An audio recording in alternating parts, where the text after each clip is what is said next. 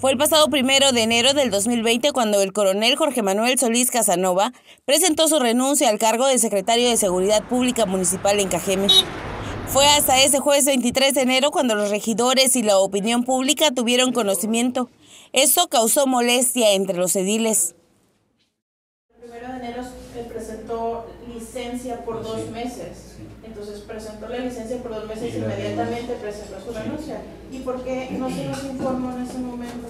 Eso sí que hay que preguntar. Porque en un, comunicado del propio alcalde, en sus cuentas, en sus redes, él claramente pone que solicitó de nueva cuenta y él como alcalde estaba autorizando la licencia. Jamás se hizo el comentario que en base a la misma licencia iba también la renuncia. Que mandemos un extrañamiento a la autoridad municipal por no comunicar al ayuntamiento ese procedimiento.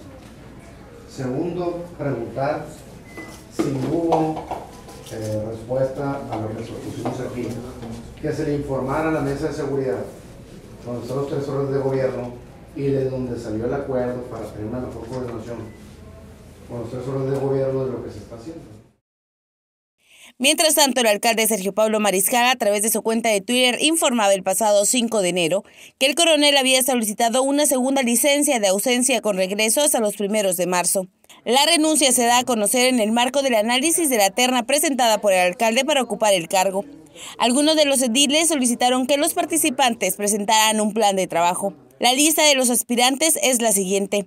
Eliud Vargas, comandante de la Policía Preventiva, José Rosendo Moreno, comandante de Tránsito, y Francisco Cano Castro, exsecretario de Seguridad Pública, quien expresó toda su intención de volver a ocupar el cargo. ¿Quedará al frente ya de Seguridad Pública? Eh, es, es toda la intención, es todo el deseo. En lo mínimo que le deberían de pedir a personas que ya ocuparon el puesto en esta misma administración es un plan de trabajo.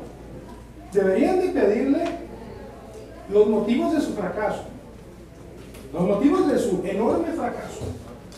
Pero por lo menos, si queremos ser políticos, solicitarle un plan de trabajo que nos explique qué es lo que va a ser diferente para no continuar con este desastre de seguridad pública que tenemos nosotros en Cajeme.